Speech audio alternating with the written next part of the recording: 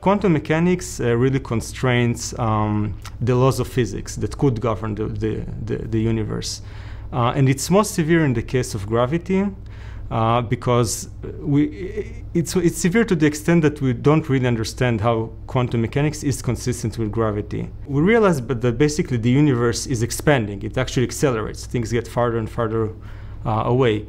And what it means is that if we do a small change in some system, as the, as the universe uh, grows and expands, this change will grow as well. So that can remind you, of course, of maybe the most uh, famous characterization of chaos, which is the butterfly effect. The small change leads to a very dramatic effect. Quantum mechanics also constrains the chaotic behavior of a system.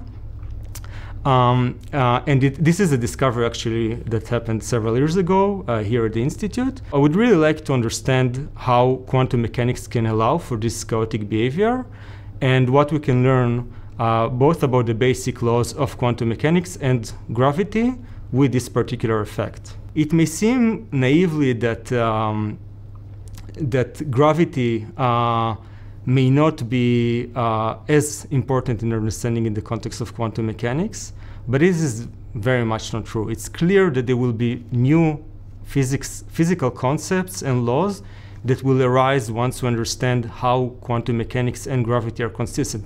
This is, this is essentially what happened with special relativity, right? We just take it now to general relativity. In special relativity, once we understood how to combine it with quantum mechanics, we relate to quantum field theory, which de describes all the particles, elementary forces between them, everything that we see at collider physics.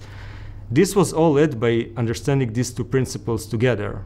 And we just try to do the same now with general relativity.